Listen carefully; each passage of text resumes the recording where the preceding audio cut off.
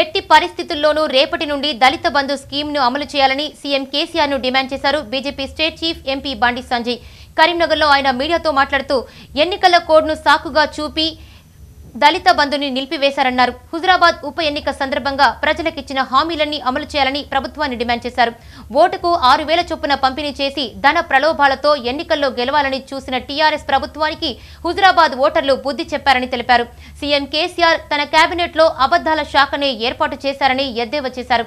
టీఆర్ఎస్లో లొల్లి జరుగుతోందని ముఖ్య నేతలు బీజేపీ వైపు చూస్తున్నారని తెలిపారు. ఈ సమావేశంలో బీజేపీ జిల్లా అధ్యక్షులు గంగాడి కృష్ణారెడ్డి నాయకులు పాల్గొన్నారు. దళిత బంధును తెలంగాణ తెలంగాణ రాష్ట్ర వ్యాప్తంగా అమలు చేయాల్సిందే. నిర్ధారణకి ఎన్నికల కమిషన్ పేరుతోని భారతీయ జనతా పార్టీ పేరుతోని దొంగ లేఖలు సృష్టించి దళిత సమాజాన్ని వంచే ప్రయత్నం చేస్తాం ఎట్టి పరిస్థితుల్లో దళిత బంధును ఎట్లా అమలు తప్పకుండా పక్క అమలు చేయాల్సిందని భారతీయ జనతా పార్టీ డిమాండ్ చేస్తుంది. నువ్వు దళిత బంధు అమలు చేయకుంటే మేము చేసే ఉద్యమానికి తట్టుకోలేము ఆ స్థాయిలో ఉద్యమం చేస్తాం. ఈటల రాజేంద్రరావు ఊకరు ఆయన అక్కడి నుంచి స్టార్ట్ చేస్తాడు. హుజాబాద్నే స్టార్ట్ చేస్తాడు దళిత బంధు సంగతి దళిత బంధు ఇవ్వాల్సిందే బీసీలకు సంబంధించి చేస్తాను అది ఇవ్వాల్సిందే ఎస్టీ సామాజిక వర్గానికి సంబంధించిన ఈ పథకం ఇస్తున్నావు అది ఇవ్వాల్సిందే అగ్రవర్ణాల్లో పేదలు ఉన్నారు.